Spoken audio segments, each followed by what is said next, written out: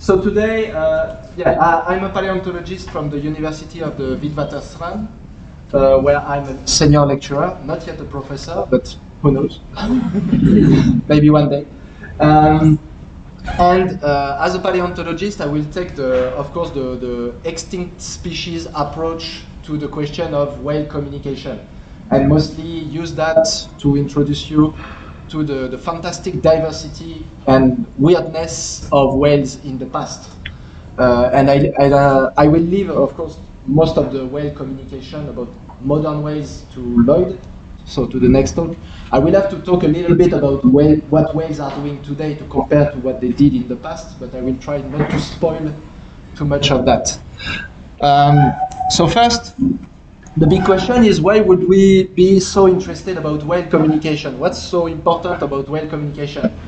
Well, in a very practical way, uh, we live alongside whales and sometimes we interact and sometimes, know, sometimes they, they don't like us. and they communicate about it and they tell each other how to basically sink uh, our boats. So this is a story that has been happening in Portugal for the, the last two years orca, one orca, well, one killer whale, sorry, uh, sunk a boat two years ago, and now they are teaching each other. So they do communicate, and they do communicate, and they do teach other how to how to sink boats. So yeah, we, we are interested into whale communication because it has a direct interface with us. Uh, also, whale communication is quite fascinating because it's sophisticated. It shows some evidence of intelligence uh, for these animals that most animals don't have. So communication, like sophisticated communication happens in humans, of course, and all sorts of primates, in whales, and in elephants. These are the, the three animals in which you have really a social behavior that's, that's sophisticated. And it's so fascinating that actually this recording that you're listening now is the recording that uh, astronomer sent to space. You know, they selected on a disk, they selected an amount of songs and stuff that they wanted the extraterrestrials to hear. Uh, and they, they, put it that on the Voyager 1 interstellar mission, so it's uh, it's basically a, a spacecraft that has been sent outside the solar system. And one of the things they selected is a, a whale song. So I can't, I, I don't pretend I understand why we are so fascinated by whales and their songs, but we are. And we are so fascinated that this is one of the top things we want the extraterrestrials to hear when they find us. So whale evolution is a very long story, more than 50 million years. So it almost goes as far back as the, the way, when dinosaurs went extinct. So basically, everything that lived in the ocean at dinosaur time went extinct. Oceans went, uh, were empty, and so the whales came in, and they came in from the ground. So that's what that little video is showing you. They were land-dwelling animals that basically evolved again back into the water. So this is a 50 million years old story, which tells you that every time a whale species goes extinct, it's a 15 million years old story that goes extinct. So it's, uh, it's, it's, it's, not just sad, it's a drama, it's really, uh, it's really um, an awful event. But for my purpose today, uh, I just want to ask the question, yeah, how do you study communication in these extinct animals that look so different from the whales that we know today. Because you can see that these land-dwelling ancestors were very different from the whales we know today. And to do that, I will follow the way of sensory organs. We can study sensory organs in extinct animals, and in whales in particular, it's quite easy. it's quite easy because their sensory organs are very, they are very, very derived. They are, they are strongly modified by the fact that they live in the water. So, and because they are descended also from a terrestrial ancestor, which implies that their sight, once adapted to see on land, is no longer adapted to see underwater, so their sight is relatively poor, and you can follow that in the fossil record, how their sight get from adapted to live on land to almost, well, to, to very poor sight. The, the, they, they lost the sense of smell, or they mostly lost the sense of smell, and same thing, you can follow that in the fossil record. They lost their hair, uh, which is the, the main tactile organ in mammals, and uh, they compensated for all of that with hearing. So as they were losing most of their sense organs or their terrestrial sense organs, they were gaining on another new, well, not particularly new, but enhanced aquatic sense organs, which is mostly the hearing. So you can follow all of these events through the fossil record. So we can start with olfac, uh, sorry, with chemical communication, which includes olfactions and, and, taste. So the sense of taste in whales is not particularly developed, as you can see on that dolphin, they, are, they, they have no taste buds, which is weird. It's absolutely, their, their tongue is absolutely smooth. And uh, when you look at the brain, they don't have any olfactory bulbs, so the, the part of the brain that's dedicated to smell is undeveloped, uh, except in the largest baleen whales. And they have no Jacobson organ. So the Jacobson organ, uh, you probably don't know it from mammals, but from reptiles, from the snakes. Snakes, they have their forked tongue, and you've probably been told that they smell with their tongue. But they don't actually smell. They, they catch molecules in the air and they put it back and, uh, how do you call that? Like, they will lick their Jacobson organ to put those molecules in their Jacobson organ. So it's a specialized organ for pheromones, particularly. And they don't have that. Whales, unlike snakes, don't have that.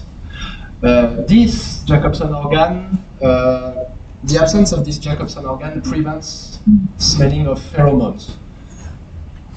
However, recently, uh, scientists discovered that dolphins are intensely swimming into the other dolphins' feces and urine.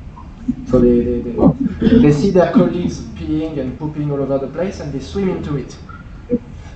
And this, we think, we don't actually know, but we hypothesize that this is because they are actually trying to smell into the, those, uh, into those, that, those excrements and excretions. So maybe they have a tiny, tiny leftover of those sensor of the, that particular smell organ. Uh, and this would inform them about particularly uh, who made that pee and that poop. Uh, so who are the who are the, the colleagues that were there before? Who uh, what was their health status, and particularly if this is a male looking for a female, what is the reproduction status of that female, for example. And uh, another example, this time not in dolphins but in baleen whales, Another example is how do baleen whales locate the, the fish, like the, the, those big those big groups of fish. Uh, they don't use echolocation. We will talk about echolocation and how they use sound to locate uh, their prey. Dolphins do that, but baleen whales don't. So how do they manage to locate those fish? One of the hypotheses, once again, is they smell them one way or another. It's very difficult to smell underwater, but apparently uh, they, they may be able to smell those big, uh, those big groups of fish. So now we can't really follow when the sense of taste became kind of lost, but the sense of uh, smell, we can follow it through the fossil record. So here you have the brains of a variety of whale ancestor and early whales here. And basically, the, the thing in red at the front of the brain is the olfactory bulbs. And by following the evolution of the olfactory bulbs, we can tell how smell evolved in, in those early ways. And as you can see, the, the olfactory bulbs were quite normal up to this point. You see there's kind of a transitional species here, and to this point here, the olfactory bulb becomes very deformed, and we think this is at that point that the, the, the, the sense of smell got kind of lost, or at least dramatically altered to a point that it was uh, it was barely usable. And this corresponds to these animals. So quite fascinatingly, you see, this is a whale ancestor. Just a tiny quadrupedal animal that lived somewhere in India, what is nowadays India and Pakistan, 48 million years ago. And this is Remingtonocetus.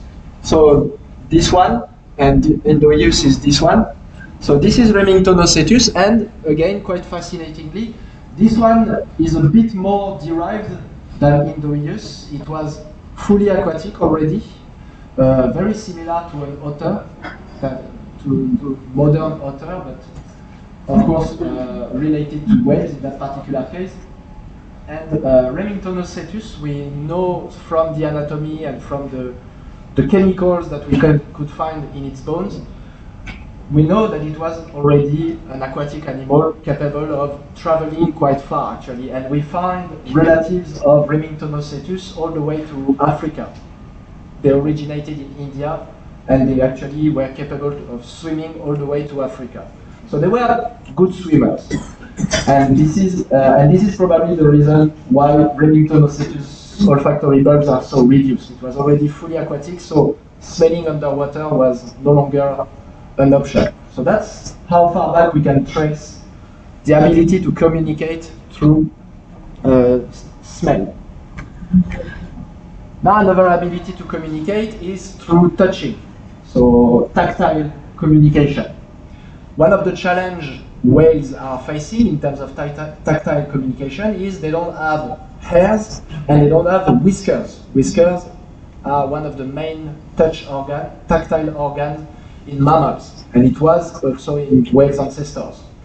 So, but they still use the sense of touch. As you can see, uh, dolphins like to rub each other. And if you look at uh, humpback whale, all those knobs on its face, they contain tiny hair follicles. So there are still whiskers in those humpback whales.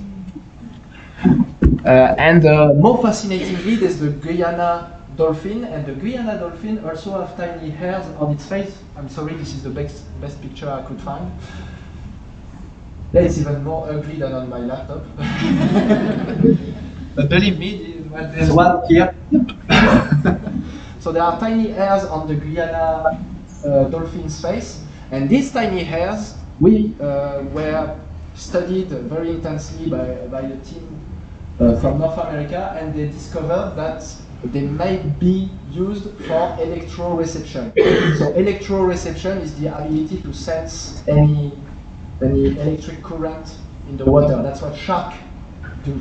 Sharks do uh, with their uh, Lorenzini ampullae in their snout. So this is a sense that we thought was not used by mammals in general, and now we are finding that actually dolphins may be able to do that. So it's a, it's a completely new sense organ. Uh, actually, whiskers being co-opted into a new sense organ, which is quite fascinating. And now to trace the evolution of um, hairs through through the dolphin evolution, I'm afraid the fossil record uh, is absolutely empty of evidence. We, we don't find evidence of hair, but we can study the genes of modern whales and modern dolphins, and using a method called the molecular clock. Long story short, the more you, the, the more a gene is evolved, and uh, the more you can count mutations. And those mutations do not happen randomly, they happen at a certain rate. so you count how many mutations have happened, and you can date how long a gene has evolved. So I'm, I'm, trying to make it short and simple. Uh, I actually don't understand what I'm talking about. I'm improvising. I'm not a geneticist. Are there geneticists in the room? Please don't, don't shout at me. so, so yeah, the, they can use that method called the molecular clock, and they actually follow the evolution of the, the hair genes. There are many genes that are involved into uh, the maintenance of a fur tent. And these genes uh, apparently disappeared around 45, 46 million years ago. And this is why you see on that, on that picture you have our Remingtonocetus here, our otter-like uh, whale ancestor with still uh, bristling with whiskers. And here you have the Protocetidae that came just after Remingtonocetus, are just a little more whale-like than uh, Remingtonocetus. And these guys here are represented without any whiskers. So uh, here, apparently, most of the genes that that made up the fur and the whiskers were lost. But as I told you, they were not completely lost. Uh, some modern whales and dolphins still have some whiskers, or leftover whiskers. Uh, and you can see protocetids uh, were kind of not otter-like, but in that case more seal-like. Seal, but with a tail that's already evolving into a fluke, and you know, the, the hands with the palms, etc. So, and the teeth are scary also. Very scary. Visual communication now. Uh, so it's extremely difficult to see underwater uh, after past a certain, a certain depth. There's no light going through in water. So dolphins and whales basically lost uh, most of their ancestral ability to see and they, they usually have tiny eyes and they are colorblind. They are absolutely colorblind. Uh, they have only one receptor. Like you, you know, we have three cones in our eyes to, to see the colors. We are trichromatic also. That's, an, uh, that's how we put it. So there are three types of cells in our eyes. Dolphins and whales only have one. So they are, yeah, they, they, they basically don't see colors which in any way it would be useless because they live in water, there's barely anything to see underwater. And that's why also the, the colors, the diversity of colors in whales and dolphins is not that great uh, compared to birds, for example, on land. It's because they don't see much color anyway. And same thing, that color blindness, we can't trace it directly, but when you look at the skull of, again, Remingtonocetus, you see the, this is the eye socket here, and you can see the eye socket is very, very, very small. So sight was probably not the main sense organ in Remingtonocetus. But that doesn't mean that whales are not using visual cues to communicate. They still do. It just has to be very big uh, and easily visible. So, for example, here you have Blainville's beak whale. So the Blainville's beak whale has those massive tusks on the side of its head. Uh, this is an X-ray image to show you the tusks through the through that that flesh. so the, these are used for communication. Males do have it, but females don't. So they, uh, the males are telling the females, "Hey, look at me, my tusks are bigger." so is everything else. And same thing for the narwhals. You know, the, the narwhals uh, have those gigantic tusks. Uh, these, are, these are not horns, but these are tusks. It's, uh, it's actually an incisor that was changed, no, uh, an incisor, sorry, a canine that, that was changed into a, a gigantic tusk. And uh, the males use them to fight, which is kind of tactile communication, but they, they also use them to show the females, hey, look at me.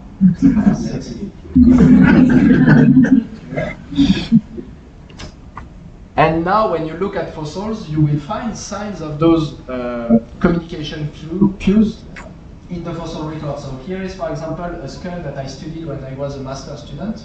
So the, the brain case on that side is about that big, and then the snout is about that long. Uh, and it's not complete, you see it's broken off, so it would have been even longer than that. So this is a, a very weird kind of dolphin we call uh, we call schizodelphis, and this is what it would have looked like. So these uh, Schizodelphis and, and his uh, kin lived mostly in the northern hemisphere some 20 million years ago. And uh, we don't exactly know what the, that snout, that gigantic rostrum was used for, We think it's for communication with females, just like with the narwhal's uh, tusks. Uh, there's also a fair chance that just like narwhals, they were using them to hunt. See how it knocked out that, that fish? Here. like a ninja. so there's also a fair chance that they were using the, their snout the same way as narwhals do for communication, for fighting, and to knock out fish. Maybe also to, to look in the mud, you know, to, to shake off the mud to find some, some invertebrates and stuff like that. You know, food and sex, as usual. Uh, we are getting a bit closer now, seven, seven million years ago, and this is Odobenocetops from South America. Odobeno means uh, walrus, and cetops mean whale. So it's the whale, the walrus whale. It's a lot of W's. For, for me, that's uh, difficult to pronounce. But uh, so Odobenocetops is called the walrus whale because of this gigantic tusk, just like the narwhal. So it's a close relative to narwhals. Narwhals, whale, walrus. so that whale walrus is a close relative of narwhal. uh, except that unlike the narwhals, the tusk is naturally it's not a, it's not damaged or it's not uh, deformed or whatever. It's the natural shape of that animal the tusk is deflected to the side. So it's a very non-symmetrical animal. There's the tusk on the one side and no tusk on the other side. And again, uh, on that picture, you can see it applies to males, but not to females.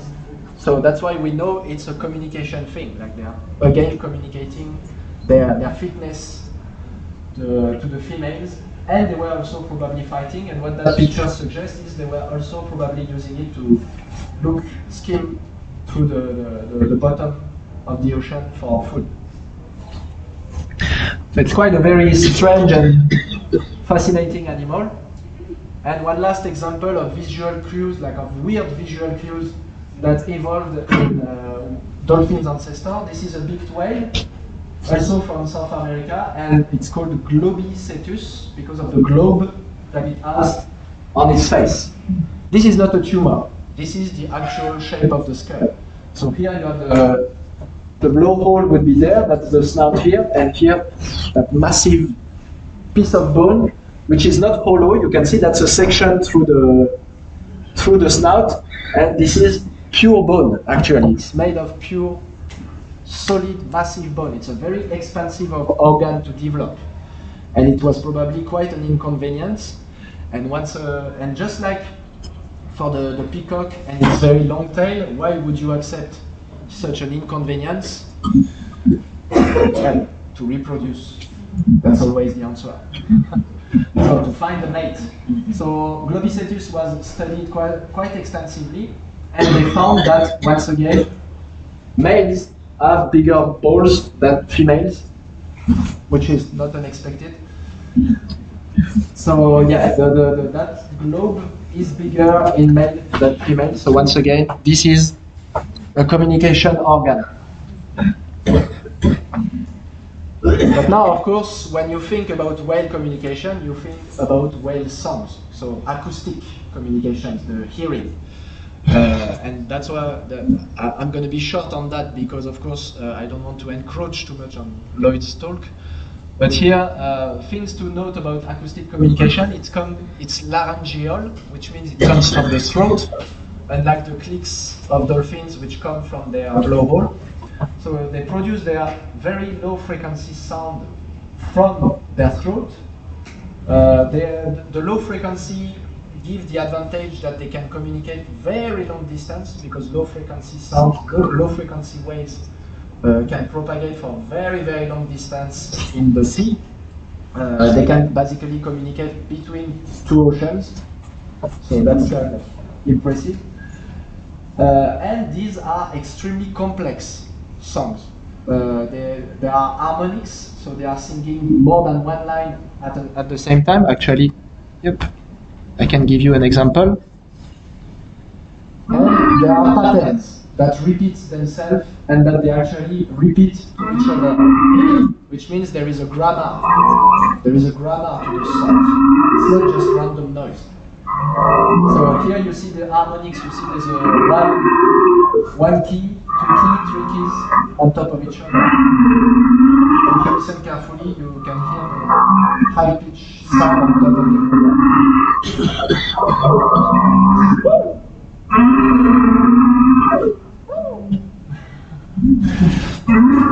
But I'm doing it but with a French accent. And here, yeah, you can see how complex the songs can be. And of course, the, the, the masters of communication by sound, sound are the, the dolphins and killer whales and their relatives. And mostly because they are social animals, highly social animals, uh, even more social than the, the baleen whales can be. And uh, we've known for a long time that these animals were talking to each other, especially because they have uh, because they, they, they have strategy. They develop strategies to attack their prey. So, for example, this is the, the washing, the wave washing strategy. They coordinate. All you see, all three killer whales are coordinating their swim to create a wave that will wash out that poor seal out of its uh, not so safe spot. So you see that that is an obvious sign of communication and coordination. So even if we let, let's suppose that we did not know how they were talking to each other, but we know. But even if we did not know how they were talking to each other, it would be undeniable that they are talking to each other. But we know how they talk to each other. They use a variety of noises. So breach, of course, breaching is a communication feature, uh, as Lloyd already told us. Uh, tail slaps, bubbles, but, and of course, they, they, they use their voice. They have actually two voices. One that's called the, the, the, the whistles, so they, they, whistle to each other, and one that's called the echolocation. So they, they create clicks, and they use the, these clicks to talk to each other, and they also use these clicks as a sonar. So it's double use for the clicks. So the clicks come from this region of the, the dolphin's anatomy, so it's basically the blowhole. And around the blowhole, you have a combination of organs called the monkey lips and the dorsal bursae. So these are the monkey lips, and these are the dorsal bursae and they, they just keep one bubble of air in their nose and they make it go up and down and up and down and up and down to make those monkey lips clap onto each other. And that's how they create their clicks. And these clicks are ultrasonic and that's what they use to, to as a sonar and to talk to each other so these are high frequency sound as opposed to the baleen whales uh, these are high frequency sound. And uh, the biggest, the biggest organ, the biggest phonic organ in an animal of all time is the, the, the, the phonic organs, so the, the dorsal bursae and monkey lips of sperm whale, addition to the what is called the melon, which is the amplifier. So this is the, the melon here. So that's one of the dorsal bursae, which is also known as the spermaceti. Spermaceti not because it's used for reproduction, not this time. Spermaceti because they, it's white and, and gluey. So the, the, the whalers called it the spermaceti, the, the sperm of the whale, hence the name sperm whale. so the, the, the sperm whale have this dorsal bursae which is turned into the spermaceti, and they have the melon, which is the amplifier for the for the sounds that they are producing. And this all together creates the biggest phonic organ in the animal kingdom. So that's uh, that's quite a, that's quite an amazing animal, and you see how the skull is completely deformed to accommodate that organ. This is a very important organ for them, and it has dramatically changed the anatomy. Can you believe that this is a mammalian skull? Like it's related to your dog. Imagine, this is, this is absolutely crazy. And so, just for the fun, this is a killer whale from the past, 9 million years ago. They were killer whales that, unlike modern killer whales, uh, had lots of very useful. And you can see the size of just the one tooth here, even compared to the modern killer whale right here. This is just absolutely massive. And for comparison here, I like this one. This is Tyrannosaurus rex, you know, the biggest predator that ever lived on land. Well, this is this whale. It's called Leviathan melvillei. This is that, that sperm whale uh, to, to the scale. So this, this animal would have swallowed a Tyrannosaurus rex in one punch length. and of course, it was a, a whale killer. It was, it was hunting, actively hunting on whales. And it's called, so it's called Leviathan melvillei, so there's both a reference to the Bible and to uh, Melville, who's the author of Moby Dick. So there, there's a double reference in the name. So now we know that, so I've, I've shown you how those uh, dolphins and killer whales produce their, the, the, the, and sperm whales also produce their sound. So there's the, the claps, there's the, the whistles, and there's the clicks. So the clicks in particular are used by killer whales. Uh, for example, when they are hunting for fish, we know that they don't behave exactly the same way as they are when they are hunting for seals. The, the fish are not smart enough to understand the clicks, but the seals are. And so when they hunt for seals, they stop clicking, they communicate with other ways. Uh, and, they, and to do that, they use many channels and harmonics. So you see the clicks, they, they can also produce bursts of clicks. And of course, there are the whistles that I talked about. So they have a variety of communication organs and they adapt them to their hunting strategy. So that's quite amazing. And also, the, the killer whales have dialects. So just like me, they have accents.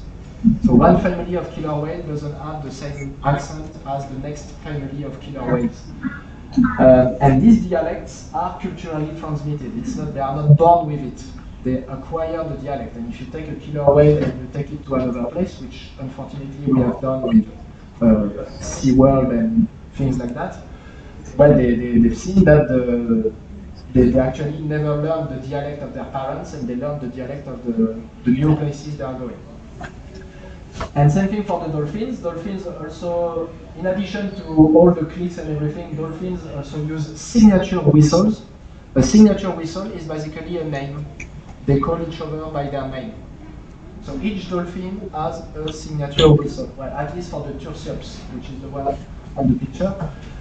So bottlenose dolphins have, um, have signature whistles. They call each other by their name. They can imitate the name of their kin, which means they can call each other by their name, and they remember them basically for their lifetime. So it's freakingly similar to what we do. to the point it becomes scary. when, when you consider that they are actually learning how to sink boats, yeah, they, they are about to take over, I think. And now these are all, well, when you, I've shown you the dorsal bursae monkey lips, how they produce echolocation, the throat, the etc. All of these are soft tissue. All of these, none of these actually fossilizes. So how do we paleontologists manage to study that? We have to be a little bit inventive. Uh, we have to, to be a little bit, um, uh, a little bit uh, uh yeah, I forgot how I wanted to uh, finish that sentence. um, anyway, we use X-rays. the answer is X-ray. So we take our fossil whales, we put them into a CAT scan, and out of that CAT scan, we can see, thanks to the X-ray, we can see the inside of the whale skull, and we can study the inner ear. So these, on the left and on the right, these are the inner ear of dolphins, the dolphin family, and the baleen whale family, so the Odontoceti and Mysticeti. And we assume that what they could hear is also the sound that they could produce. Because there's no point producing a sound that you cannot hear. So if you can know from the inner ear what they could listen to, you can also infer what kind of sound they were producing. And it's very interesting because, the, as you can see, an odontocete, so a dolphin inner ear, is very flat and you can see very thick. Uh, and this, this is an adaptation to, um, to a high frequency hearing. And on the other hand, a mysticete, a baleen whale, has a whipped cream like cochlea. So the, the inner ear is adapted for hearing low frequencies. So the whipped cream shape is for low frequency hearing, and the flat shape is for high frequency hearing. And then you can follow that through the fossil record, and you can assign, you see, for, you can assign your fossil based on the, the shape of the cochlea of the inner ear. You can assign your fossil to either of the two groups, or sometimes to none of them, which means they were not specialized for any type of hearing. And what we find is that primitively they were not particularly specialized. And then uh, sometimes around 30 to 30 uh, to 35 million years ago, about here, there was a deep division between the two groups.